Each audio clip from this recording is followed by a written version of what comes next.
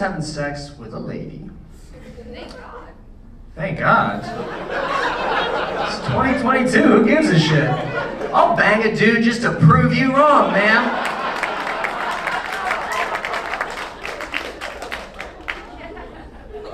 Anyways, one time I was having sex with a man,